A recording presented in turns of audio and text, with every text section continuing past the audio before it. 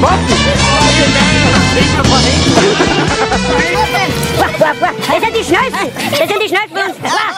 Ich, ich, ich will nur die Hand Die Gefahr ist gebannt! Das Blut ist echt, schaut euch das an! Da, Kratzer! Die Hosen!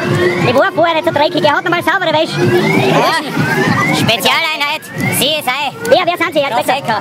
Da, ah, ah, okay. Das sind wir. Wer sind Sie, Herr Inspektor? Wie heißen Sie, Herr Alles Inspektor? Adolfo Lambrusca. Kollege, Und Spe Special Agent Manfredo Muscatello. Ah. Im Dienst unser Spezialgebiet, biologische Waffen, und Kriegsführung.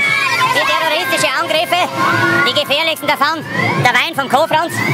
Sehr, sehr hart. Rein für biologische Kriegsführung geeignet. Ärger wie Senfgas. Das Gesöchte von Magusa auch nicht ohne. Voll mit eintrunkenem Brot. Auch der Schnaps von Ken. Ah, sehr hart, sehr hart, sehr hart. Hammer. Einer als Bodennebel eingesetzt. Verheerend. Haben wir erst Freitag einen Liter entschärft. Ja, Ah. vernichtet.